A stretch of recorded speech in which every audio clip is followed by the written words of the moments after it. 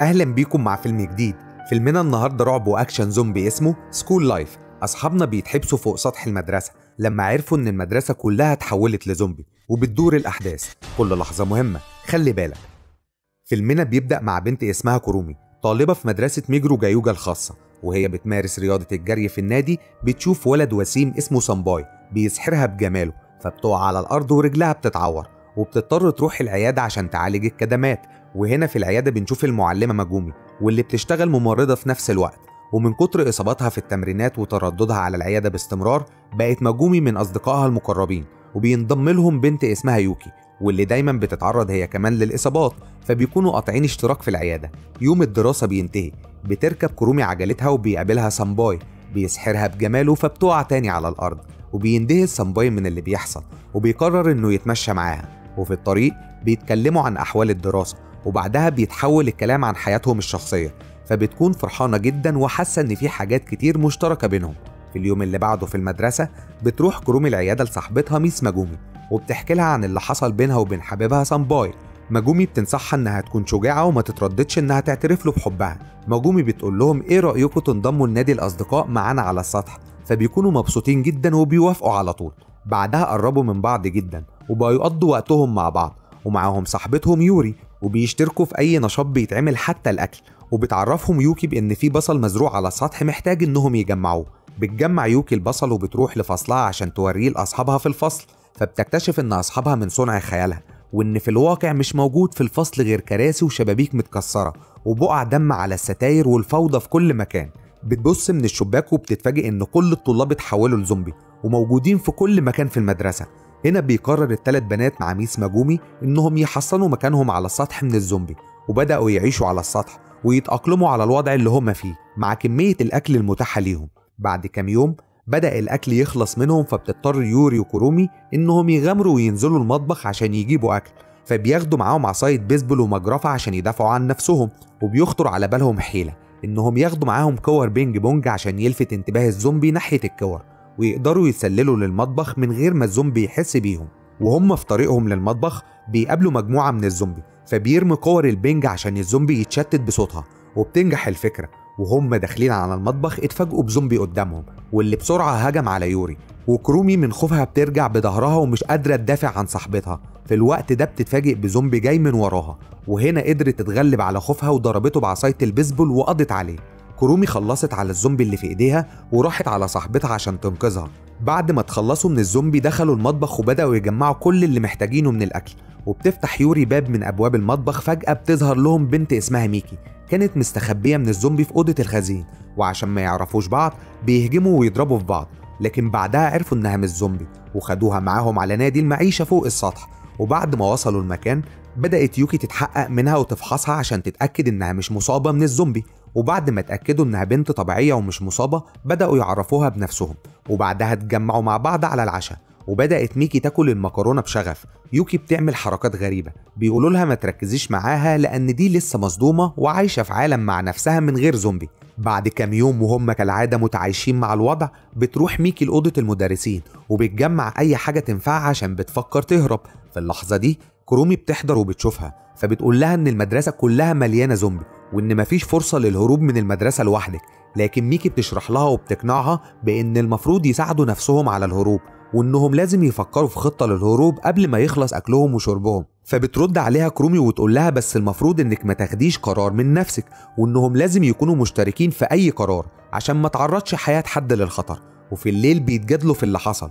ميكي بتقول لها شايفاكم بتتعايشوا عادي جدا بالرغم الموقف اللي أنتوا فيه. وهنا يوري بتشرح لها عن الحادثة اللي حصلت وخلتهم غصب عنهم يقعدوا في المدرسة ويعملوا نادي المعيشة مع بعض. وهنا بنرجع فلاش باك لوقت وقوع الحادثة وبنشوف البنات ومعاهم ماجومي بيعملوا نشاط على سطح المدرسة وفجأة بيشوفوا من فوق فوضى في كل مكان والطلاب بيجروا ورا بعض وبيعضوا كل واحد منهم التاني وهم شايفين كل ده. سامباي بيجري ناحية كرومي وبيقول لها إنها لازم تهرب. ومن صدمة كرومي من الموقف فبتكون مشتتة ومش عارفة تعمل إيه. بيهجم عليها زومبي وفي اللحظة دي بيجري ناحيتها سامباي وبينقذها وبيطلعها للدور التاني من المدرسة. وهم طالعين للسطح بيقابلوا مجموعة من الطلاب واللي تقريبا اتحولوا لزومبي فبتهجم بنت متحولة منهم على كرومي لكن بيدافع عنها سامباي وبيعمل حاجز عليها بإيده. لكن البنت الزومبي بتتمكن من إيده وبتعضه بالرغم من صعوبة الموقف لكن كرومي قدرت تسحبه وتطلعه معاها على السطح. وقفلوا الباب قبل ما يدخل أي حد من الزومبي. بعد شوية بتشوف يوكي علامة العض على إيد سامباي وبسرعة بتحذر كرومي إنها تبعد عنه لأنه تعرض للعض من الزومبي. وعشان سامباي راجل وبيحبها بيحذرها هو كمان وبيطلب منها إنها تبعد عنه قبل ما يتحول لزومبي ويكون خطر عليها وكمان بيعترف لها إنه بيحبها. بعد شوية الشاب بيتحول لزومبي وبتضربه كرومي بالمجرفة وهي زعلانة جدا. وعشان كل اللي حصل ده وعشان ما يحسوش بالملل قامت مجومي بتشكيل النادي المعروف باسم نادي المعيشة المدرسي. في الوقت الحاضر قاموا بتشكيل نفسهم لمجموعتين.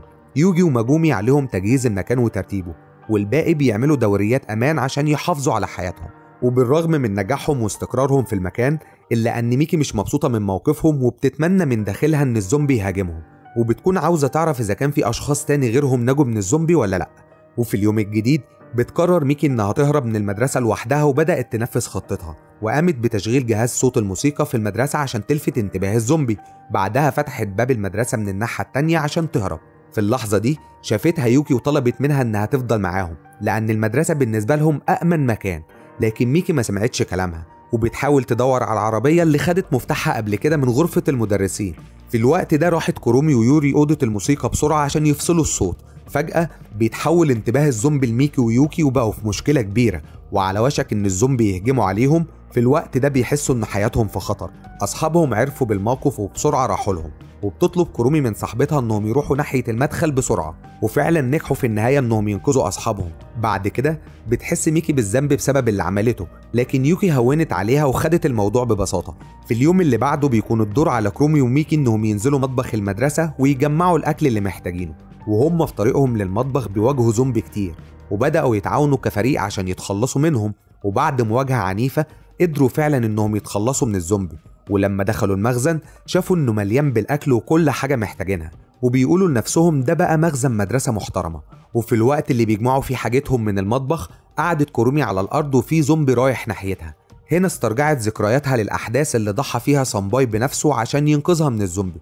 وبدأ يظهر عليه علامات الحزن وده شتت تركيزها وهجم عليها الزومبي وعلى وشك إنها تتعرض للعض.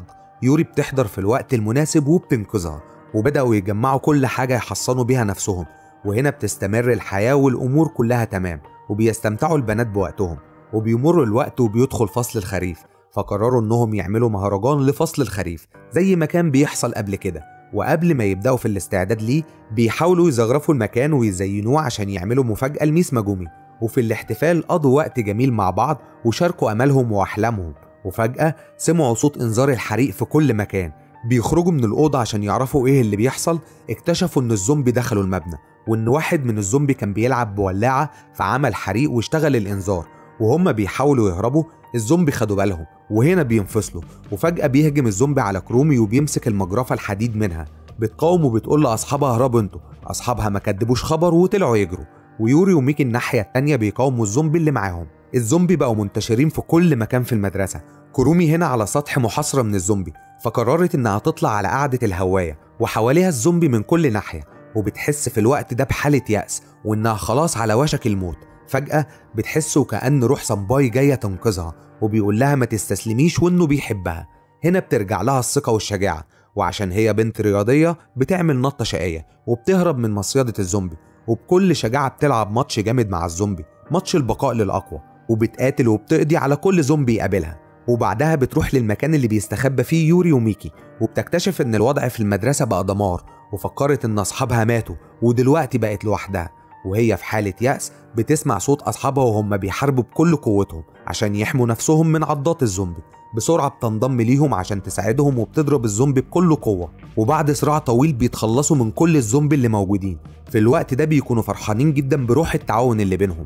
لكن بعدها بيتفزعوا لما بيعرفوا إن يوكي مش موجودة وموجومي أصلا مش موجودة.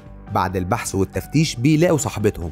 والقصة بتتحور وبنعرف إن العيادة كانت عبارة عن وهم وخيال طول الوقت. وإن ميس ماجومي أصلا اتحولت لزومبي من فترة طويلة لما اتعرضت للعض في العيادة. وكل الوقت ده كانت يوكي بتتخيلها دايما إنها موجودة في حياتها. وهم واقفين متأثرين بالواقع اللي هم شايفينه بتقرب عليهم مجومي الزومبي. بتقابلها كرومي بالمجرفة عشان تقضي عليها وتريحها من عذاب الزومبي. بعد الحادثة دي بدأت يوجي تفوق من عالم الخيال اللي كانت عايشة فيه. وهنا عرفت إن الأمور بقت أسوأ بكتير من الأول. وبقت تحاول تفهم الواقع وتستوعب إن صاحبتها مجومي اتحولت لزومبي ومش موجودة وأصحابها بيحاولوا يواسوها. بعد كده عرفوا البنات إن قعدتهم في المدرسة تاني بقى شيء مستحيل بعد اللي عملوه الزومبي في المدرسة. قطعوا سلوك الكهرباء ومواسير المية وبوظوا الأكل وخربوا الدنيا. وبالشكل ده قرروا يسيبوا المدرسة. بس قبل ما يمشوا قرروا إنهم يعملوا حفلة تخرج لنفسهم. وبيتجمعوا كلهم وبيقدموا الشهادات لبعض. وبيهنوا نفسهم وهم بيفتكروا كل العقبات اللي قابلتهم. وبيكونوا مبسوطين لأنهم على الأقل قدروا ينجوا بحياتهم. وده طبعا بسبب العزيمة والإصرار والأهم التعاون اللي كان بينهم. وفي النهاية بيغنوا أغنية وداع يا دنيا وداع وبعدها سابوا المدرسة وخدوا حاجتهم على العربية وهم ماشيين كرومي بتدي نظرة أخيرة على المدرسة وبتفتكر سامباي وبتودع المكان بحزن وبيمشوا وهم في العربية بيقابلوا مجموعات من الزومبي وبيعرفوا إن المدينة كلها اتدمرت بسبب الزومبي وهم حاليا في طريقهم للمجهول وبكده يكون خلص فيلمنا النهارده. مشجعين أفلام الزومبي يا ريت يعرفوني رأيهم في التعليقات. أشوفكم مع فيلم جديد.